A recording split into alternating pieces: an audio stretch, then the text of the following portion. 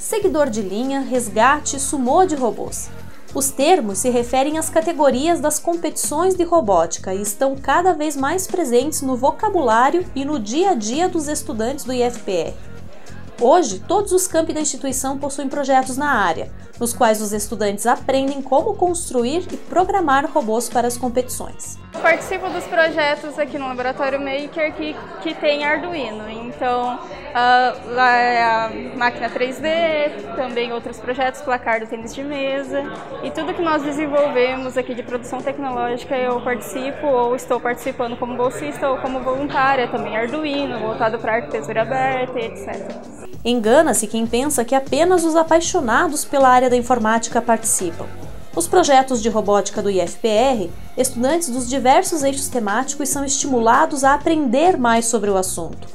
A participação nos projetos leva os estudantes a ampliarem os horizontes acadêmicos, construírem conhecimentos e compartilhá-los nas competições com outras equipes e instituições e desenvolverem habilidades que serão importantes no futuro, em suas vidas profissionais e pessoais.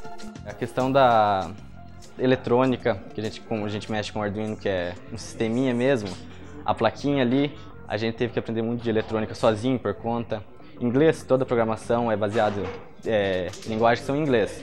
Então a gente teve que ir atrás, porque quando a gente ia estudar, a gente achava o quê? Apostila em inglês, é, tutorial em inglês. Então a gente teve que ir atrás de tudo isso, é, visando o melhor desempenho na robótica. Eles vão desenvolver os conhecimentos da robótica dentro da eletrônica, dentro da programação, dentro da mecânica e também é, trazendo todos os conteúdos que eles estudam dentro da sala de aula.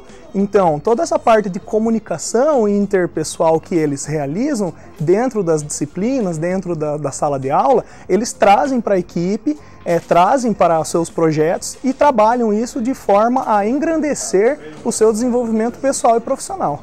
As ações institucionais para fomento da robótica iniciaram em 2013. A partir de 2014, chamadas internas distribuíram recursos para que os campi pudessem adquirir os materiais e equipamentos necessários aos projetos. Em 2017, os 25 campi foram contemplados.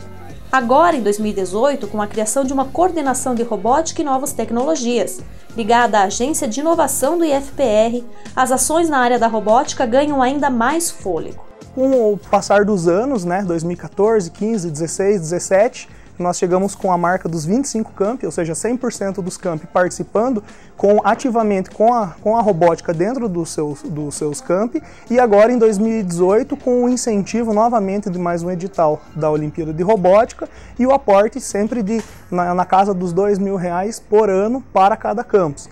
No ano de 2016, então teve um segundo edital no final do ano que foi exclusivamente para aquisição de, e complementação né, de, de novos equipamentos voltados para a robótica, de acordo com o, o, grau de implementação já da, do campus. No mês de maio, os 25 campi realizaram as etapas locais da Olimpíada de Robótica do IFPR. No dia 12 de junho, o campus Foz do Iguaçu cedia a etapa estadual, em que as equipes dos campi competem entre si. Da etapa estadual serão escolhidos os representantes do IFPR para a Olimpíada Brasileira de Robótica, para o Salão de Robótica e para a sétima edição do Seminário de Extensão, Ensino, Pesquisa e Inovação, o CEPIM.